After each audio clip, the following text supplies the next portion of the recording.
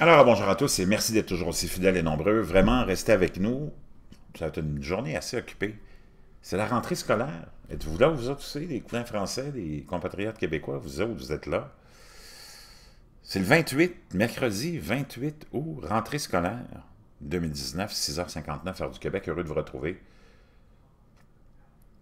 Chers amis, on est à une époque assez étrange, beaucoup d'intolérance, beaucoup de polarisation, de radicalisation.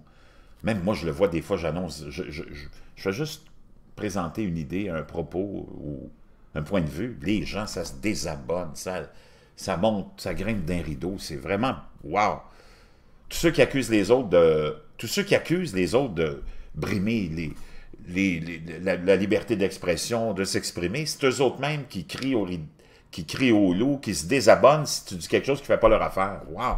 On est vraiment dans une époque vraiment bizarre.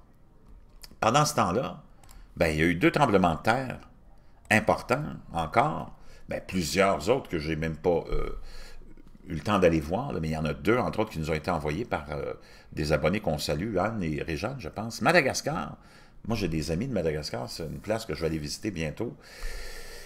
Mais ça coûte cher, surtout quand tu as trois enfants. Un séisme d'une magnitude de 5.1 a secoué le centre de l'île lundi, en milieu d'après-midi. Le centre de l'île a été secoué par une magnitude de de de magnitude de 5.1.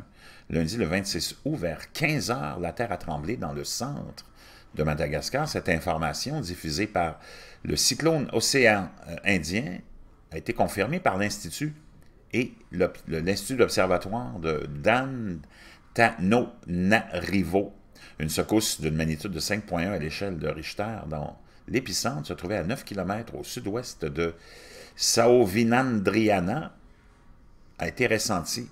Ce tremblement de terre est d'origine tellurique car la région où il s'est produit est une zone hautement sismique. Par ailleurs, dans ce secteur existe un ancien volcan éteint qui a des conséquences sur la plaque terrestre, pardon, d'où cette régulière sismicité D'après le Bureau national de la gestion des risques et des catastrophes, aucun dégât matériel majeur n'a été déclaré après cette euh, secousse. Pourtant, une telle magnitude pourrait avoir des mauvais impacts sur des anciens bâtiments ou ceux présentant des défauts de construction. En outre, elle peut être fortement ressentie par les populations dans un rayon de 100 km autour de l'épicentre. Donc, on verra s'il n'y a pas eu vraiment de dégâts, peut-être, hein, selon cette agence-là. Il y a beaucoup de vieux bâtiments et d'autres qui sont bâtis ou construits selon vraiment des normes très minimales qui pourraient avoir été euh, touchés. Et on a aussi dans euh, le coin du Pacifique, encore une fois, les fameuses îles Sandwich, ici,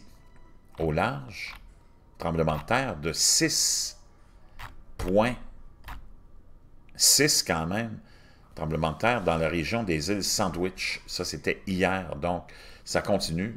L'activité volcanique, l'activité sismique en forte, forte augmentation. Je vous reviens